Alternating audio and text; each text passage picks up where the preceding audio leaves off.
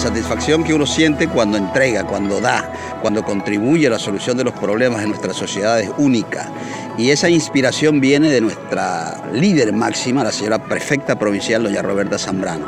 Han sido abandonados por muchos años, por 50 años y en los últimos 14 años que pidieron tanta la ayuda, nunca la tuvieron. Es ahora este el momento que nosotros inauguramos ya el puente naranjal de los Chachis. Asimismo hemos hecho mantenimiento de las vías y hemos trabajado con fomento productivo, donde el día de estamos haciendo una nueva entrega. Estamos trabajando no solamente con lo que son gallinas ponedoras, sino también estamos trabajando con madera, con las huertas familiares. Se está haciendo un trabajo exhaustivo para darle el apoyo para que ellos puedan reactivar la economía.